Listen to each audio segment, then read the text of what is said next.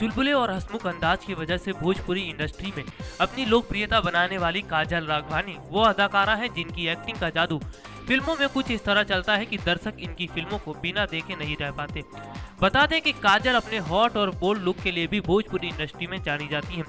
अगर इस अदाकारा की फ़िल्म लिस्ट को देखा जाए तो पिछले साल इनकी ज़्यादातर फ़िल्मों ने बॉक्स ऑफ़िस पर खूब धमाल मचाया है।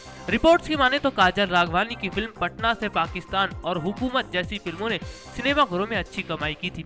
लेकिन इस खबर को सुनकर दर्शकों के मन में एक सवाल ज़रूर उठ रहा होगा कि इस साल काजल राघवानी अपनी आने वाली फ़िल्मों में किस लुक में नज़र आएँगी? फ़िलहाल इस बारे में तो काजल ने अभी तक कुछ भी नहीं बताया है, लेकिन ऐसा कयास लगाए जा रहे हैं कि काजल इस साल कुछ फ़िल्मों में दुल्हन के रोल में दिख सकती हैं।